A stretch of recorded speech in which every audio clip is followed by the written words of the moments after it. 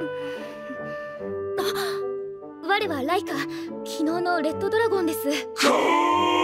実はお願いがありまして。我を弟子にしていただけないでしょうか。あとは組み立てるだけです。お任せください。そういうのは絶対にノー。これが我の最高傑作です。さあどうぞ。一度帰らせていただこうかと。え？一つお願いが。あるのですが。我はこういう変身もできますかわいい。ああなたが変なことしているので静止したまでです。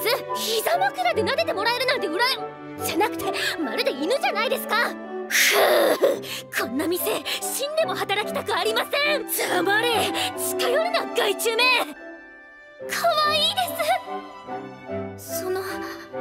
かしな点はないでしょうか。困り顔も尊い。どうぞゆっくりと召し上がってください。